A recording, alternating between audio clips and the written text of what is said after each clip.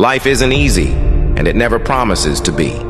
But there are lessons you must carry with you, no matter what. First, remember this.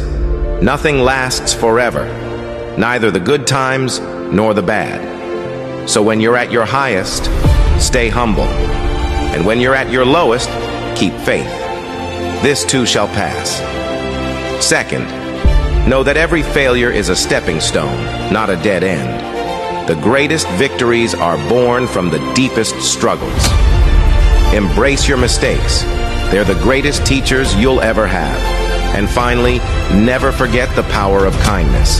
It costs nothing, yet it's priceless. In a world full of challenges, a single act of kindness can change everything. It can change someone's day, someone's life, and it can change you.